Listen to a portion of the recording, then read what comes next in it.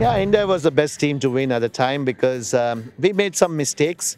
I think uh, we just uh, tactically some mistakes we made. We should have not uh, uh, batted first. We should have bowled first because always in India those those periods you get a lot of dew after 15, 16 overs.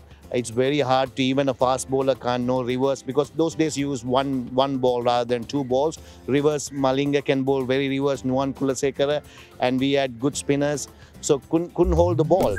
But you can't take away any uh, uh, credit of uh, Indians. They played really well and it's good score 285 and also uh, in Wankhede because I have experience playing IPL a lot of lot of matches and when the ball is first when you ball ball gets stick sticky. It's hard to score runs. Once you get in over it gets well and the dew comes the ball comes nicely. So that what happened but still I think the team was formidable team at the time uh, India. Uh, and now also Indian has a very formidable but Sri Lanka is catching up right? It's a catching up game but you should not never doubt uh, something something can happen in cricket. You need a little bit of luck so then you can perform.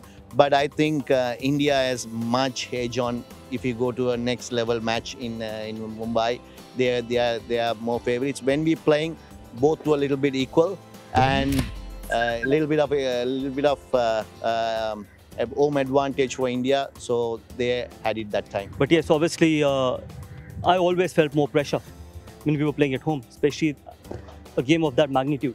Playing the World Cup final, never thought that we would be playing the World Cup final at home. And if we end up winning, winning it after what, 20 odd years and whatever amount of time. So I felt a bit more pressure. But the good thing that happened from my point of view was that by the time I was about to get ready, I was actually in.